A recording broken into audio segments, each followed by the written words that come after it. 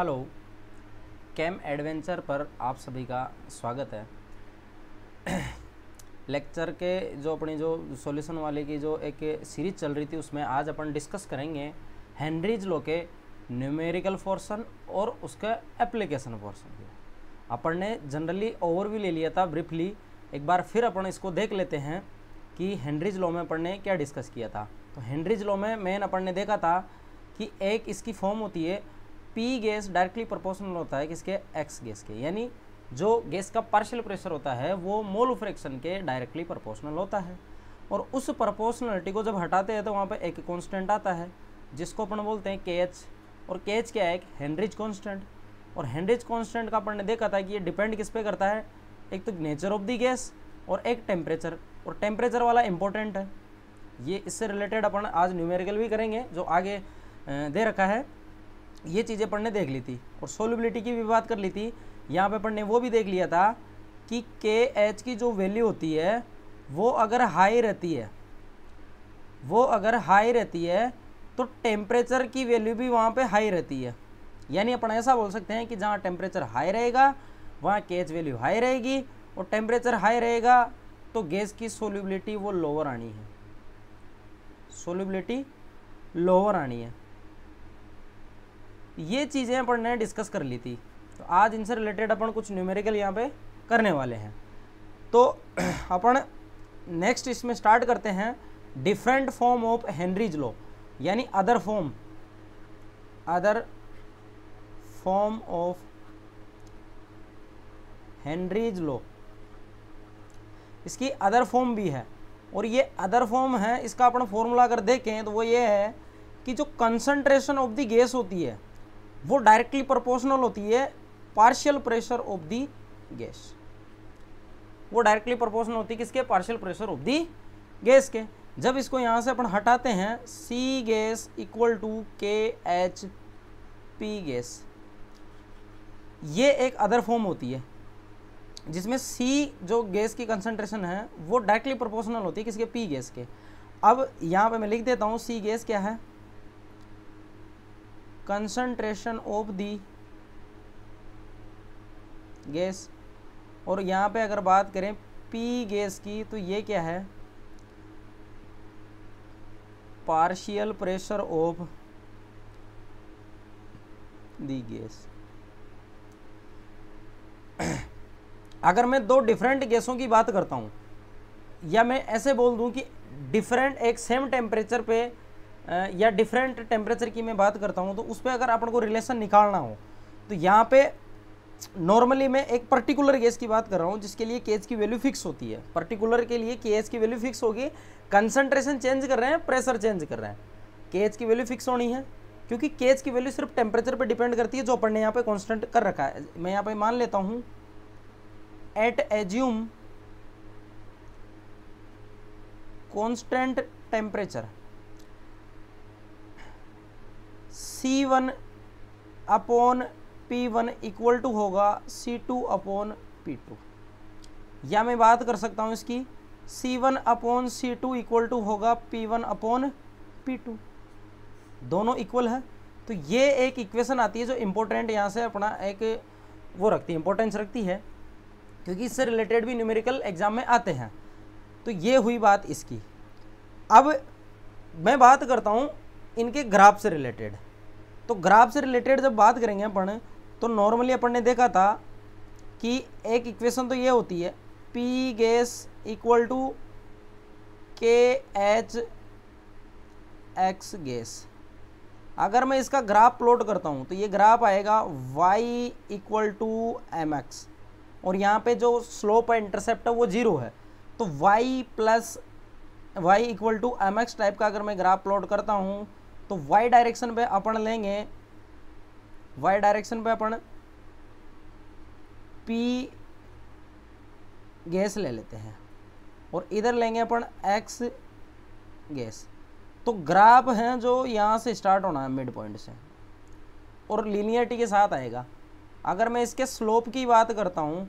तो स्लोप जो होता है वो होता है टेन थीटा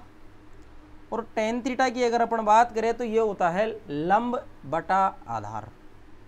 यानी लंब पे अपन ने क्या ले रखा है पी गैस ले रखा है आधार पे क्या ले रखा है एक्स गैस ले रखा है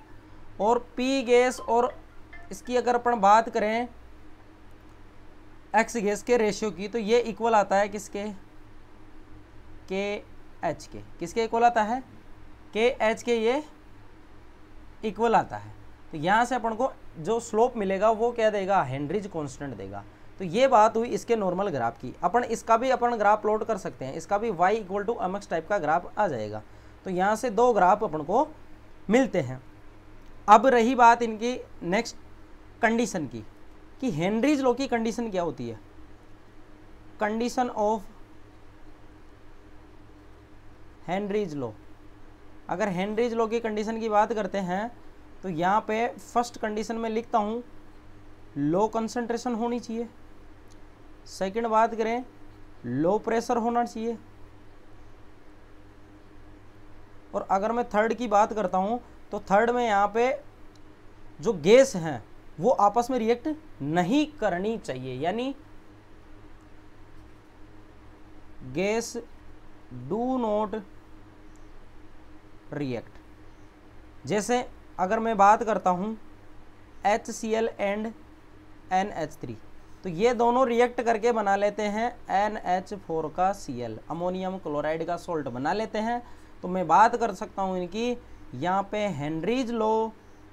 नॉट एप्लीकेबल होगा नॉट एप्लीकेबल इन पे नहीं लगता है हेनरीज लो इन पे नहीं लगता है तो अपन ने ये इनके कुछ बेसिक क्राइटेरियाज जान लिए हैं इसके फॉर्मूलाज जो हैं अपन ने डिस्कस कर लिया और ये भी देख लिया कि कहाँ पे एप्लीकेबल होगा तो ये इंपॉर्टेंट है एक पूछ लेता है वो एग्ज़ाम में कि अमोनिया है जो एच में अपन को डिजोल्व करनी है तो इस पर हैंड्रिज लो एप्लीकेबल होगा या नहीं होगा आप बेझिझक बोलिए कि एप्लीकेबल नहीं होगा क्यों क्योंकि यहाँ पे आप जो चीज़ ढूंढना चाह रहे हो जिसका मोल फ्रैक्शन ढूंढना चाह रहे हो वो तो आपको मिल ही नहीं रहा वो तो प्रोडक्ट में चेंज यहाँ इस तरीके से हो गया प्रोडक्ट बना लिया N H four C L अपने आप में एक आयनिक कंपाउंड होता है जो एक सोल्ट है जबकि ये कोवलेंट कंपाउंड है जो एक एसिड है और एक बेस है तो जहाँ पे एसिड बेस रिएक्शन होती है अपन उसको यहाँ पे कंसिडर नहीं करते अगर वहाँ पे कोई बेस गैसियस स्टेट में हो तो तो ये हुई इनकी बात अब चलते हैं अपन न्यूमेरिकल पोर्सन पे थोड़ा सा अपन न्यूमेरिकल पोर्सन की तरफ बढ़ते हैं उससे पहले अपन एक चीज़ और लिख लेते हैं नोट लगा के वैसे मैंने आज आते ही उसमें डिस्कस कर ली थी यहाँ पे एक चीज़ मेंशन कर लेना कि अगर टेम्परेचर इंक्रीज होता है तो के एच की वैल्यू इंक्रीज होती है टेम्परेचर इंक्रीज होता है तो के एच की वैल्यू इंक्रीज होती है और के एच की वैल्यू अगर इंक्रीज होती है तो सोल्यूबिलिटी डिक्रीज हो जाती है ये इम्पोर्टेंट है ये चीज़ इसको मार्क कर लेना अच्छे से नोट्स में कि टेम्परेचर इंक्रीज करने से केच की वैल्यू इंक्रीज होती है और सोल्यूबिलिटी डिक्रीज हो जाती है अब अपन न्यूमेरिकल की तरफ बढ़ते हैं जैसे क्वेश्चन है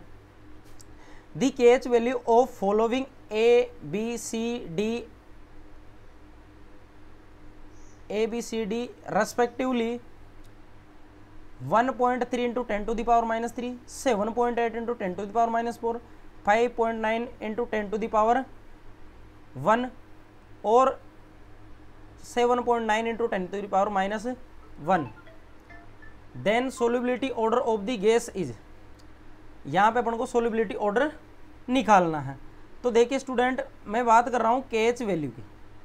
के वैल्यू दे रखी है तो जहाँ पे के वैल्यू अगर हायर रहती है मैंने अभी बताया था कि K value is higher then solubility is lower K value अगर हाई रहेगी तो सोल्यूबिलिटी क्या हो जाएगी वहाँ पे लोअर आनी है तो के एच वैल्यू हाई कहाँ पे है वो देख लेते हैं तो के एच वैल्यू सबसे ज़्यादा किसकी है मैं के एच वैल्यू का सबसे पहले ऑर्डर लिख लेता हूँ के एच वैल्यू का ऑर्डर क्या होगा के एच वैल्यू में सबसे ज़्यादा किसकी है सी वाले की है के एच वैल्यू सबसे ज़्यादा किसकी है सी की और उसके बाद के एच वैल्यू अगर देखते हैं अपन तो के एच वैल्यू आएगी डी की और उससे कम के एच वैल्यू आनी है ए की और सबसे कम आनी है बी की ये के एच वैल्यू का ऑर्डर हो गया और तुम्हें पता है के H inversely proportional to solubility के एच की वैल्यू का जस्ट उल्टा हो जाएगा किसका सोलिबिलिटी का ऑर्डर तो मैं सोल्यूबिलिटी अगर ऑर्डर निकालता हूँ अपन को डाटा याद नहीं करना सिर्फ अपन को कॉन्सेप्ट याद करना है कि के एच और सोल्यूबिलिटी एक दूसरे के इन्वर्सली होते हैं तो यहाँ से क्या हो जाएगा बी की वैल्यू सबसे ज़्यादा उससे कम ए की उससे कम डी की और सबसे कम सी की अगर ऐसा अपन को कहीं ऑप्शन में दिखता है तो वो बिल्कुल राइट है फर्स्ट वाला है ए सबसे कम और का नहीं हो सकता सेकेंड वाले की बात करते हैं अपना तो सी सबसे कम डी ए बी तो अपना यही ऑप्शन क्या हो जाएगा करेक्ट हो जाएगा सॉरी यहाँ पे ये चीज़ अपन को आसानी से समझ में आती है सॉरी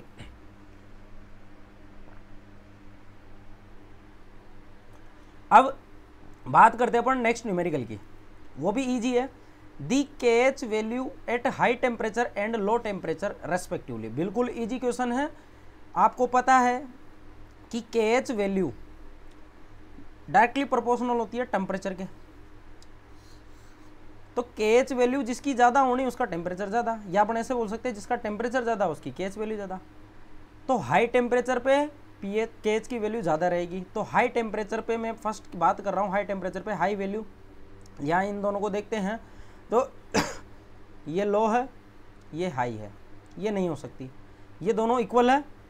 नहीं हो सकती यहाँ पे देखते हैं तो ये हाई है और ये लो है तो सी ऑप्शन अपना क्या हो जाएगा करेक्ट ऑप्शन हो जाएगा नन ऑफ दी जिसमें कोई पॉसिबिलिटी हो ही नहीं इसकी कि ये हो सकता है तो यहाँ से बिल्कुल ईजी है कुछ भी नहीं है कि एच डायरेक्टली प्रपोर्सन होता है टेम्परेचर के और इन्वर्सली होता है सोलिबिलिटी के ये चीज़ याद रखनी है हैंड्रिज लो में यहाँ से क्वेश्चन आते हैं तो अपना सी ऑप्शन करेक्ट हो जाएगा उसके बाद अपन बात करते हैं हेनरीज लॉ की जो अपने अदर फॉर्म देखी थी उससे रिलेटेड एक क्वेश्चन है तो यहाँ पे देखो at twenty degree centigrade the solubility of nitrogen in water is 0.02 gram per litre when the partial pressure of nitrogen is 400 hundred M M of H G what will be the solubility of N two in water at twenty five degree when partial pressure is 800 hundred M M of H G यहाँ पर student अपन को given है solubility या concentration अपन बात कर सकते हैं सोलिबिलिटी कंसनट्रेशन को डिफाइन करने की टर्म होती है तो अपन उसको बोल सकते हैं कि कंसनट्रेशन की टर्म है तो कितनी दे रखी है zero point zero two gram per litre और इसका पार्शियल प्रेशर दे रखा है अपन को चार सौ M M of H G तो what will be the solubility of N two in water और प्रेशर दे रखा है इतना यानी आपन को यहाँ से साफ साफ दिखता है कि C1 one upon P one equal to C two upon P two ये अपन ने पढ़ी है तो यहाँ पे तीन डाटा की वन है एक अपन को डिफाइन करना है तो C1 मैं बात करूँ यहाँ पे कंसंट्रेशन की चाहे मोलेरिटी हो मोलेलिटी हो नॉर्मलिटी हो या सोलिबिलिटी हो चाहे मोल हो सब कंसनट्रेशन की टर्म होती है तो ये कितनी देर की है zero point zero two gram per litre P one अपन को गिवन है four hundred M M of H G और यहाँ पे सी टू तो निकाल ली अपन को और पी टू दे रखा है eight hundred M M of H G तो आसानी से निकल जाएगा zero point zero two divided by four hundred equal to C two upon eight hundred तो यहाँ से अगर इसको सोल आउट करेंगे तो ये टू टाइम्स कट गया यहाँ से और सी टू की अगर बात करें अपन तो जीरो पॉइंट जीरो फोर हो जाएगा और इसकी यूनिट लिख देना ग्राम पर लीटर क्योंकि आपने ग्राम पर लीटर में ली है तो ग्राम पर लीटर आप यहाँ रख दो तो आप आपका यहाँ से कौन सा option D option is the correct option हो जाएगा बिल्कुल लीजिए अदर फॉर्म पढ़ी थी आज अपन ने हेनरीज लो की एक फॉर्म तो देख ली थी P gas directly proportional X gas लेकिन आज देखिए अपन ने कि कंसनट्रेशन भी डायरेक्टली प्रोपोर्शनल होती है किसके पार्शियल प्रेशर के क्योंकि पार्शियल प्रेशर जितना ज़्यादा होगा कंसनट्रेशन पोर्शन उतना ज़्यादा होगा तो ये हुई बात इसकी उसके बाद अपन बात करते हैं नेक्स्ट क्वेश्चन की ये अच्छा क्वेश्चन है बढ़िया क्वेश्चन है ये if N two gas is bubbled through water at 293 kelvin how many millimoles of N two gas would dissolve in one litre of H two assume that exert a partial pressure of zero point nine zero zero bar given है K H of N two this देखिए student यहाँ पे अपन को क्या दिया दे रखा है यहाँ पे दे रखा है अपन को कि partial pressure of N two gas और यहाँ से हेंड्रिज कॉन्स्टेंट दे रखा है एन गैस का तो अपन यहाँ से सबसे पहले निकालेंगे मोल फ्रैक्शन अगर मोल फ्रैक्शन आ गए तो अपन यहाँ से आसानी से निकाल सकते हैं क्या मोल्स ऑफ एन गैस तो मैं सबसे पहले बात करता हूँ according to Henry's law Henry's law के अकॉर्डिंग क्या होता है P N two equal to होता है के एच एक्स एन टू तो यहाँ से अपन को निकालना है एक्स एन टू ये क्या हो जाएगा P N two upon X H two ये क्या होता है पी एन टू दे रखा है zero point nine zero zero bar और ये दे रखा है nine point zero zero into ten to the power three bar ये अपन को गिवन है जब अपन इसको सोल्व करेंगे यहाँ से तो मैं ऊपर लिख सकता हूँ nine zero into ten to the power minus two divided by nine zero into ten to the power minus का यहाँ पे थ्री सॉरी प्लस के है ना प्लस के थ्री ये नाइन है मैं रब करके दोबारा लिख देता हूँ इसको सही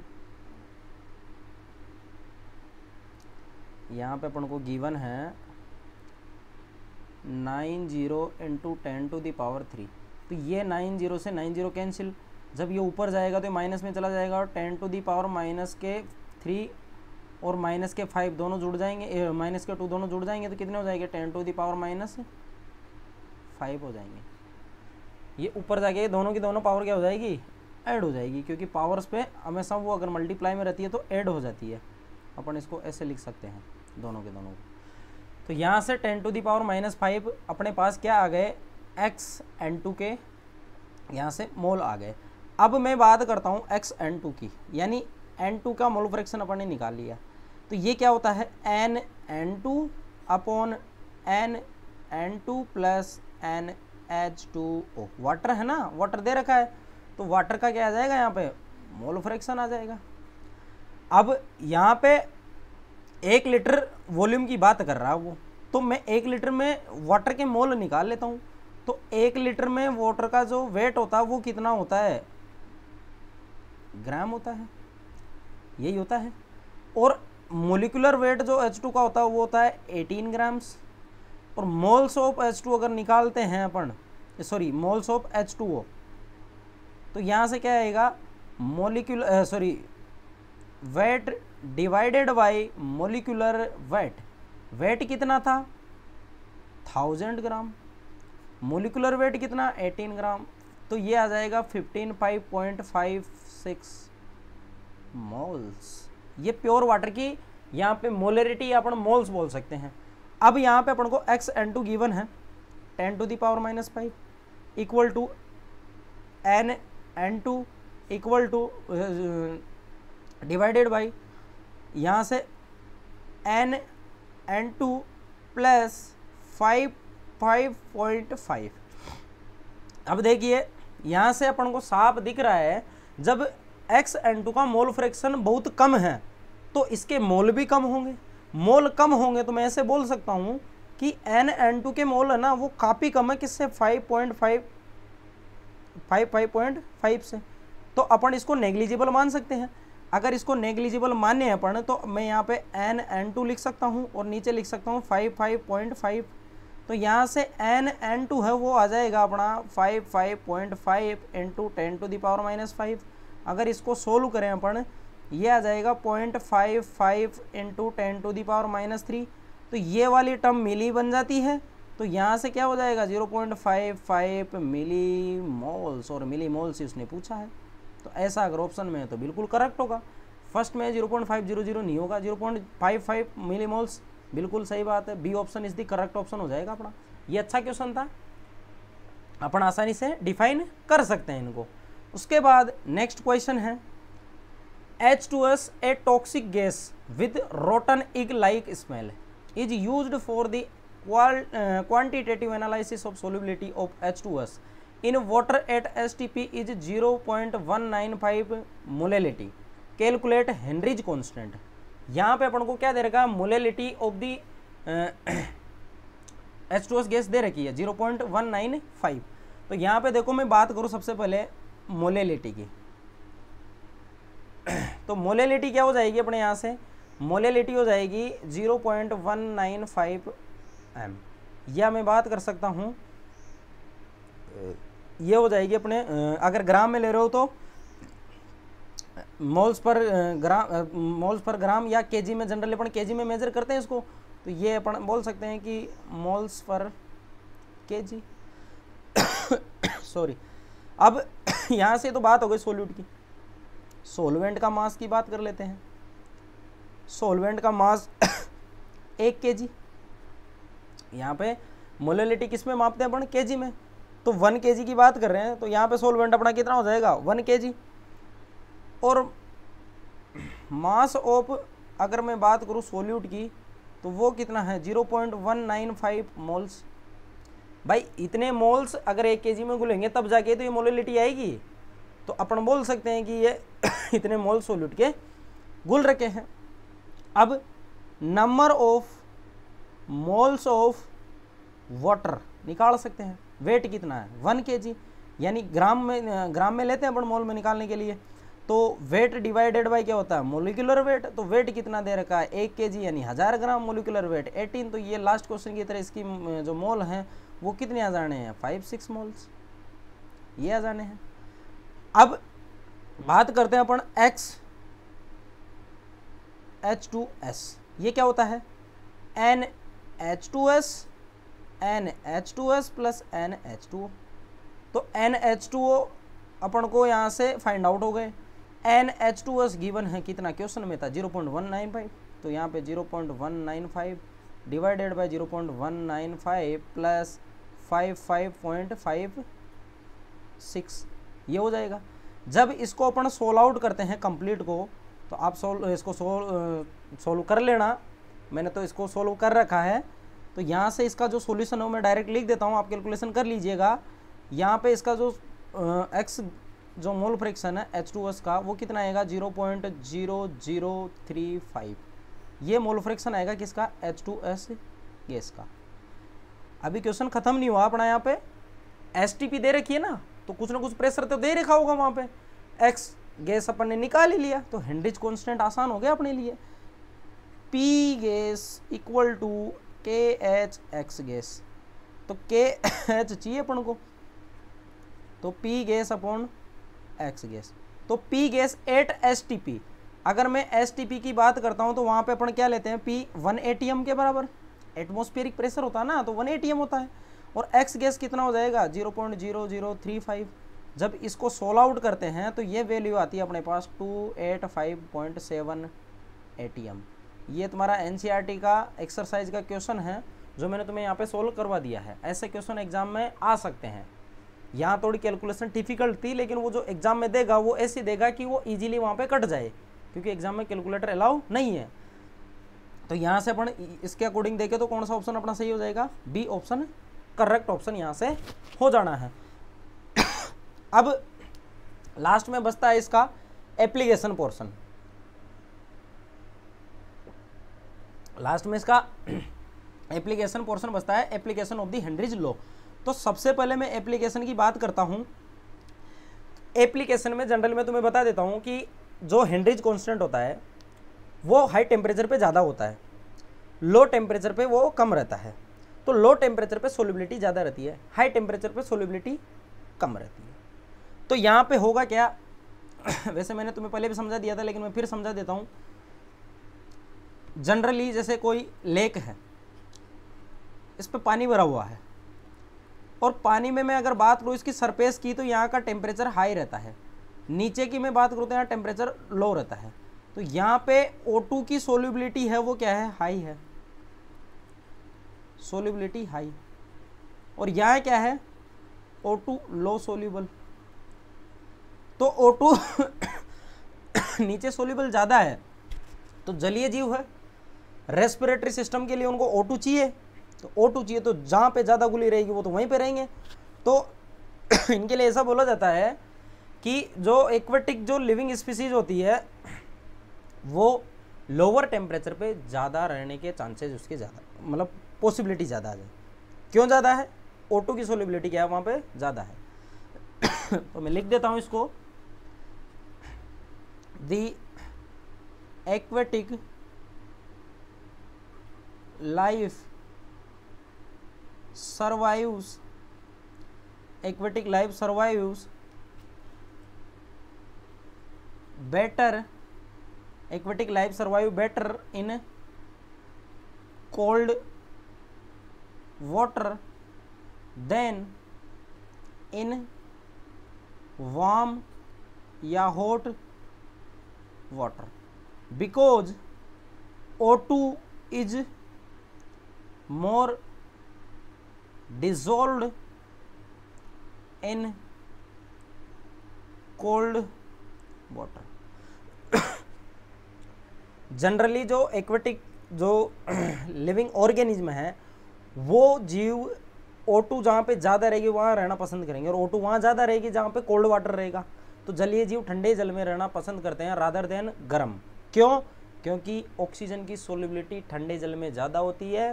और गर्म में कम होती है ये अपन ने डिस्कस कर ली थी लेर जो प्रिंसिपल होता है उसके अकॉर्डिंग अब मैं बात करता हूँ सेकंड की तो सेकंड में पहले लिख देता हूँ इसमें कि carbonated drink, carbonated drink, bottles and cans are sealed under high pressure to increase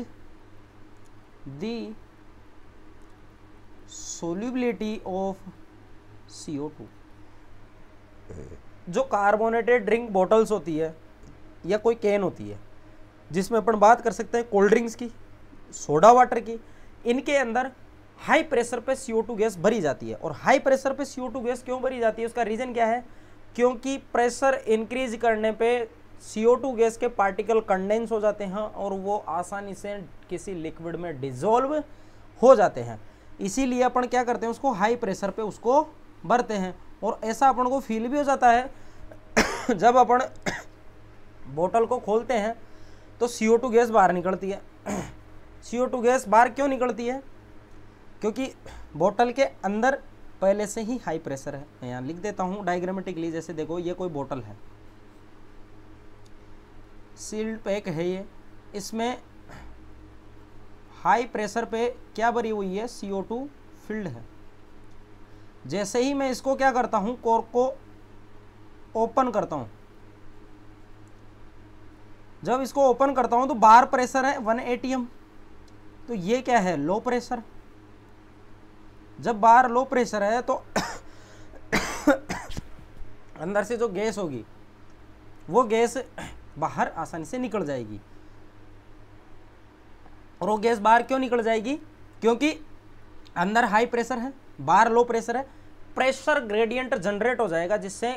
जो गैस होती है वो वायर डिफ्यूजन के आसानी से वहाँ से बाहर निकल जाएगी इसीलिए कभी अपन देखते हैं जब कोल्ड ड्रिंक्स की बोतल को अगर अपन खोलते हैं तो कभी उसमें झाग बाहर निकल जाते हैं तो होता क्या है C O two molecule escape नहीं कर पाते हैं जल्दी से तो वो क्या करते हैं उस लिक्विड के मोलिक्यूल को भी अपने साथ due to van der Waals interaction बाहर खींच लेते हैं तो इस वजह से डिफ्यूजन के साथ साथ वो कोल्ड ड्रिंक भी कभी कभी बाहर आ जाती है तो ये रीज़न था कार्बोनेटेड ड्रिंक जो होती है वो हाई प्रेशर पे भरी जाती है और हाई प्रेशर पे क्यों भरी जाती है ड्यू टू सोल्यूबिलिटी और सोल्यूबिलिटी सी ओ की अपन क्यों कर रहे हैं ये एक अपन नॉर्मली टेस्ट के लिए अपन सी ओ को उसमें मिलाते हैं सी ओ से अच्छा टेस्ट आता है इसीलिए अपन कोल्ड ड्रिंक्स में उसको फुलफिल करते हैं जो कि हाई प्रेशर पे नेक्स्ट क्वेश्चन है सॉरी नेक्स्ट इसका एप्लीकेशन है मैं इसे बता देता हूँ तुम्हें कि why mountaineer use oxygen cylinder sorry भले अपन लिख लेते हैं फिर अपन इसको समझ लेंगे ढंग से देखो मैं लिख देता हूँ यहाँ पे कि why mountaineer use oxygen cylinder जो पर्वतारोही होते हैं माउंटेनर होते हैं वो ऑक्सीजन सिलेंडर क्यों यूज में लेते हैं तो मैं इसका रीज़न लिख देता हूँ बिकॉज एट हाई एल्टीट्यूड यानी हाई लेंथ पे the partial pressure of oxygen in air is less than is less than that at the ground level. This causes oxygen levels to drop in blood and tissues. The feel weak and समाइम disoriented और इसको normally science की language में इस condition को बोलते हैं a condition known as anoxia ये तो हुई बात इसकी रामायण की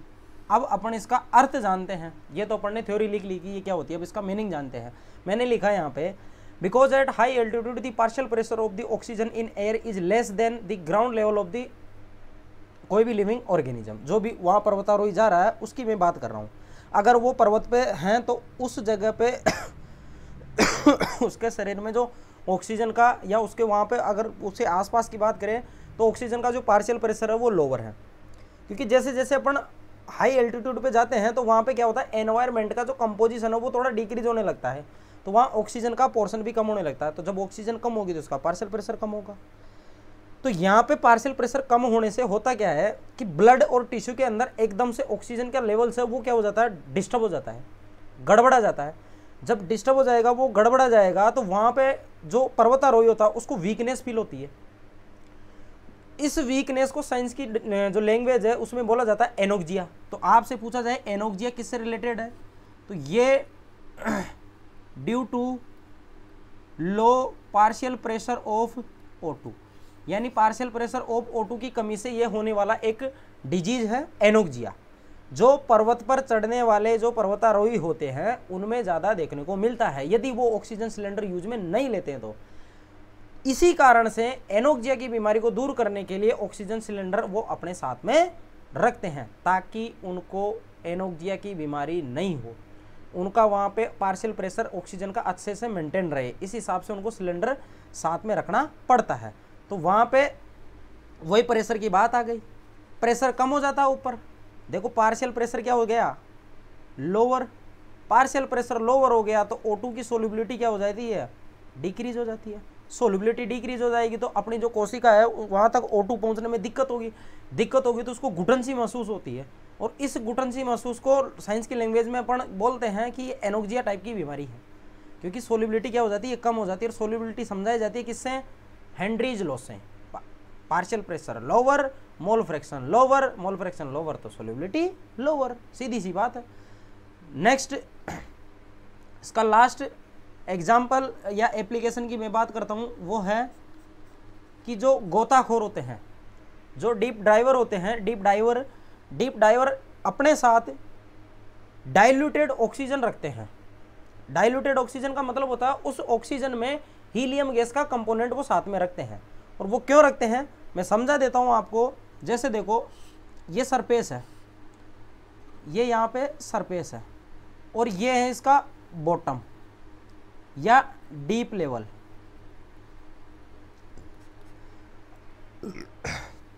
यहाँ पे जो डीप डाइवर है वो यहाँ पे ऐसे एज्यूम करते हैं कि वो यहाँ पे है ठीक है अब सरफेस है तो सरफेस की मैं बात करता हूँ तो बाहर की तरफ प्रेशर क्या रहता है लोअर रहता है तो गैस की सोलिबिलिटी क्या रहती है लोअर रहती है बाहर की जैसे ही अंदर जाता है अपन पढ़ते हैं प्रेशर क्या होता है अकॉर्डिंग टू ग्रेविटेशन लो के अपन पढ़ते हैं तो पी क्या होता है रो एच जी तो आप जैसे जैसे ग्रेविटी बढ़ती जाएगी ग्रेविटी क्या है हाइट कम या ज़्यादा होगी तो ग्रेविटी चेंज होती है और ग्रेविटी जैसे नीचे जाएंगे तो ग्रेविटी ओबिस बात है कि बढ़ती है ग्रेविटी बढ़ती है और हाइट भी बढ़ रही है तो प्रेशर क्या होगा एकदम से इंक्रीज होगा तो मैं यहाँ पे बात करता हूँ डीप लेवल पे प्रेशर क्या है हाई है प्रेशर हाई है तो सोलिबिलिटी क्या है सोलिबिलिटी ऑफ गैस क्या है हाई है अब जैसे डीप डाइव यहाँ से ऊपर से आया वो नीचे तक आ गया अब गोताखोर जब नीचे आया है तो वो जाहिर सी बात है कि वो थोड़े टाइम बाद वो ऊपर जाएगा जैसे ही वो नीचे आता है तो उसके प्रेशर हाई होने से वहाँ के एरियाज़ में सोल्यूबिलिटी ऑफ द गैसेज वो क्या रह जाती है हाई हो जाती है तो इससे O two and N two क्या होती है बेटर तरीके से डिजोल्व हो जाती है बेटर डिजोल्व और ऑक्सीजन और एन टू जब वेटर डिजोल्व हो जाती है तो जैसे ही डीप डाइव जैसे ऊपर की तरफ मूव करता है सरफेस पे तो प्रेशर एकदम से लो होता है तो वहाँ से क्या होता है कि ऑक्सीजन हाई प्रेशर पे थी पहले नाइट्रोजन ऑक्सीजन जैसे ही प्रेशर कम होता है तो एकदम से ब्लड से बाहर निकलती है तो जब ब्लड से एन टू गैस बाहर निकलती है तो ये ब्लड में बबल्स क्रिएट कर देती है बबल्स क्रिएट और ये बबल्स क्रिएट क्यों करती है क्योंकि ये ब्लड में सोल्यूबल नहीं होती है नोट सोल्यूबल और जो चीज़ सोल्यूबल नहीं होती है और वो वहाँ से निकलती है तो खुद की जगह वहाँ पे रह जाती है अब भाई सोल्यूबल होगी तो किसी न किसी इंट्रक्शन से सोल्यूबल में रहेगी तो वो वहाँ पे जगह क्या कर रहती है वो इंट्रक्शन से कवर कर लेती है और वहाँ से कोई हलचल नहीं होती लेकिन जो डिजोल्व नहीं हो रखी वो वहाँ से निकलेगी तो वहाँ पहले से कोई इंट्रक्शन नहीं थी तो जैसे ही जगह खाली होती है वो बबल्स के रूप में दिखती है और ये बबल्स इतने खतरनाक होते हैं अपने जो ब्लो ये जो नसें होती है वेंस होती है जो धमनी होती है आर्टरीज इनको ब्लॉक कर देती है और यहाँ पे इनको जो ब्लॉक कर देती है इनसे जो बीमारी होती है उसको साइंस की लैंग्वेज में बोलते हैं बैंड्स क्या बोलते हैं उसको बैंड्स बोला जाता है क्या बोलते हैं उसको बैंड्स बोलते हैं तो इस सोल्यूबिलिटी को डिक्रीज करने के लिए क्या करते हैं diluted O2 and N2 mixture लेते हैं और डाइल्यूटेड में अपन क्या लेते हैं इसमें हीलियम गैस क्या कर देते हैं इसमें मिक्सड कर देते हैं हीलियम गैस क्या कर देते हैं मिक्सड कर देते हैं और हीलियम गैस जैसे ही मिक्सड होगी तो फिर यहाँ पे हीलियम तो वैसे ही इनर्ट है तो ये क्या करती है थोड़ा सा पोर्शन इसका कवर कर लेती है तो ये गैस जो इसका गैस कंपोजिशन है वो चेंज हो जाने से अब ब्लड में से ये आसानी से धीरे धीरे से निकल जाएगी जब धीरे धीरे से निकल जाएगी तो यहाँ पे कोई बैंड्स की अपन को यहाँ पे शिकायत नहीं होगी अदरवाइज आप हीलियम नहीं मिलाओगे तो यहाँ पे हाई प्रेशर के कारण अपनी जो वेंस होती है वो डैमेज होने का चांसेस पूरा पूरा रहता है ब्लॉक हो सकती है हार्ट अटैक का यहाँ पे खतरा रहता है तो ये बात हुई अपने इनसे रिलेटेड अपन ने सारी चीज़ें डिस्कस कर ली है हेनरीज लो पे न्यूमेरिकल पोर्सन देख लिया है एप्लीकेशन अपन ने इसका एप्लीकेशन पोर्सन डिस्कस कर लिया है ये सारा आज अपना जो हेनरीज लॉ का था वो सारा कंप्लीट हुआ है नेक्स्ट क्लास जो होगी अब उसमें अपन पढ़ेंगे कंसनट्रेशन टर्म कंसनट्रेशन टर्म में अपन पढ़ेंगे weight by weight weight by volume PPM PPB mole fraction molality molarity normality formality ये सारे के सारे अपन को डिस्कस करना है तो आज के लिए इतना ही नेक्स्ट क्लास अपन या तो आज शाम को या फिर कल जो भी अपना जो टॉपिक होगा उसको कंसनट्रेशन वाले टर्म को अपन कंप्लीट कर लेंगे तब तक के लिए धन्यवाद अच्छे से नोट्स बनाइए और बढ़िया तैयारी कीजिए थैंक यू